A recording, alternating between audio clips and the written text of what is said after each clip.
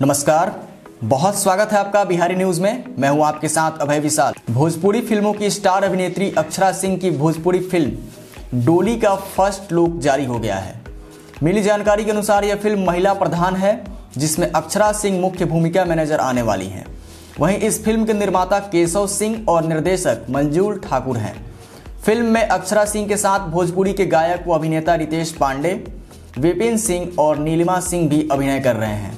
आपको बता दें कि यह फ़िल्म अक्षरा सिंह की लंबी चाहत की उपज है, जो अब बनकर तैयार है। अक्षरा सिंह ने अभिनय के साथ भोजपुरी गायकी को भी ज़बरदस्त आयाम दिया है।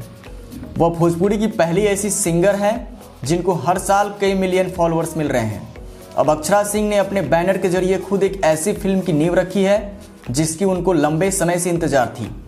इस फ़िल्म का फ़र्स्ट लुक भी अब सबके सामने है। फ़िल्म के ज़रिए अक्षरा उन लोगों को करारा जवाब देने जा रही हैं जो अक्सर उन्हें भोजपुरी फ़िल्मों के नाम पर अश्लीलता से संबंधित तंज भरे सवाल पूछते थे। अक्षरा सिंह ने कहा है कि जिनको लगता है कि भोजपुरी फ़िल्में अश्लील होती हैं, वो सभी लोग फ़िल्म डोली को देखें। आपको बता दें कि अक्षरा सिंह ने एक इंटरव्यू में बताया था कि उन्हें भोजपुरी में अश्लीलता पसंद नहीं है। ऐसा बताया जाता है कि अक्षरा भोजपुरी फ़िल्मों और भोजपुरी गानों में अश्लीलता के खिलाफ हैं। अक्षरा सिंह के बारे में यह भी कहा जाता है कि वो ऐसे एक्टर या गायक से नफरत करती हैं, जो अश्लीलता फैलाकर भोजपुरी को बदनाम करते हैं। अक्षरा सिंह ने गायकी के क्षेत्र में भी कई शानदार गाने गाए हैं, जो दर्शकों को काफ़ी ज़्यादा पसंद आए हैं। उनका एक गाना, कॉल करे क्या, काफ़ी ज़्यादा हिट हुआ था। बता दें कि अक्षरा सिंह सोशल मीडिया पर अपनी बात खुलकर रखती हैं। अक्षरा सिंह ने भोजपुरी के सुपरस्टार्स पवन सिंह खेसारी लाल यादव, दिनेश लाल यादव, निरहुआ, इन तमाम अभिनेताओं के साथ कई सुपरहिट फ़िल्मों में काम किया है। वहीं अक्षरा की फ़िल्म डोली बेहद साफ़ सुथरी है और विशेषकर महिलाओं के लिए आकर्षण का केंद्र होगी।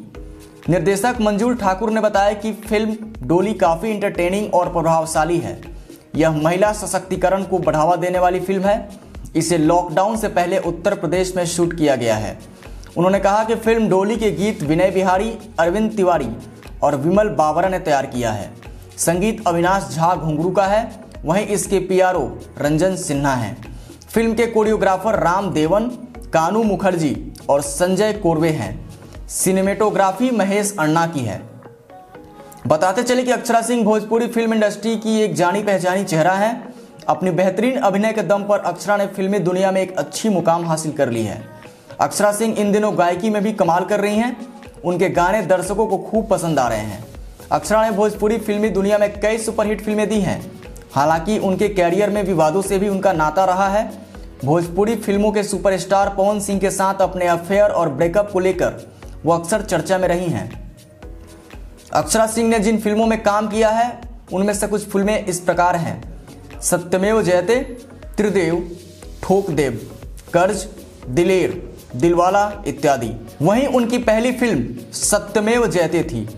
तो अभी के लिए बस इतना ही। बिहार की हर छोटी बड़ी खबरों से रूबरू रहने के लिए देखते रहिए बिहारी न्यूज़। धन्यवाद।